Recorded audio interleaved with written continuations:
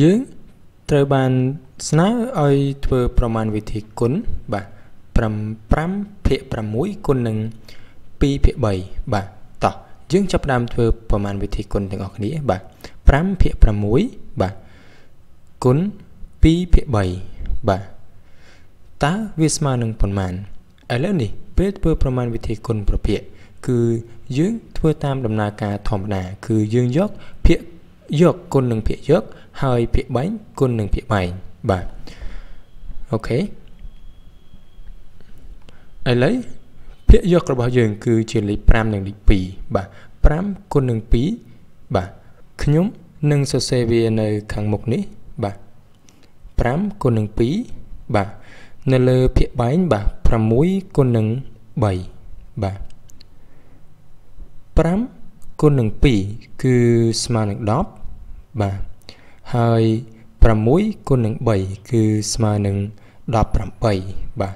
ដូច្នេះឥឡូវនេះយើងមានប្រភេទថ្មីមួយ បាទដែលវាជាចម្លើយដែលបានមកពីការគុណប្រភេទនៅត្រង់នេះ បាទវាគឺ10ភាគ18បាទដូច្នេះតើយើងអាចសម្រួលប្រភេទនេះបានដែរឬទេឬក៏ទុកវានៅត្រឹមនេះបាទ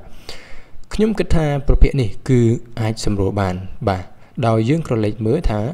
អឺប្រភេទទី1ឬក៏ភាគបែងហើយនិងភាគយកគឺជាលេខគូដូចគ្នា បាទហើយវាគឺអាចចែកដាច់នឹង2បាទដូច្នេះតោះយើងចាប់ចាប់ដើមចែកភាគបែងនិងភាគយកនឹងលេខ2បាទ10ចែកនឹង2 18ចែកនឹង2បាទបែបនេះដូច្នេះ10ចែកនឹង2គឺស្មើនឹង5 បាទ18ចែក2គឺស្មើនឹង9បាទឥឡូវអ្នកបានដោះស្រាយវា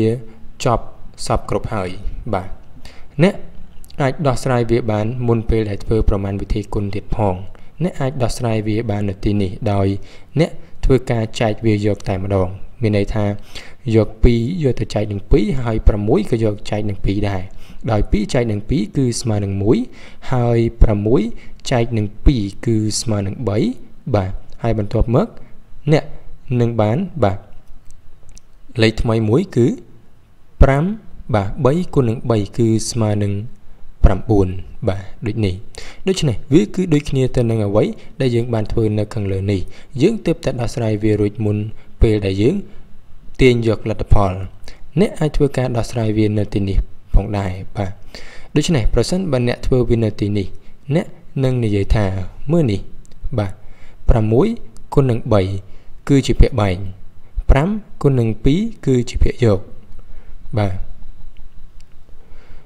ដូច្នេះចូលចែកភាគយកនឹង2ដូច្នេះវានឹងคล้ายទៅជា1បាទហើយយើងចែក បាទភាគបែងលេខ6នេះខ្ញុំចែកនឹង2ដែរដូច្នេះវាសល់3បាទ5គុណនឹង1គឺស្មើនឹងបាទ5ត្រង់ពាក្យយក3គុណនឹង3គឺស្មើនឹង9នៅត្រង់ពាក្យបែងបាទដូច្នេះអ្នកអាចធ្វើតាមវិធីណាក៏បានសូមបញ្ជាក់ថាបាទសញ្ញាចុចនៅត្រង់នេះគឺវាតំណាងឲ្យសញ្ញាគុណបាទដូច្នេះសូមកុំមានការភ័ន្តច្រឡំពេលខ្លះគេសរសេរសញ្ញាចុចហើយប៉ុន្តែពេលខ្លះគេសរសេរសញ្ញាគុណបាទសូមអរគុណ សូមជម្រាបលា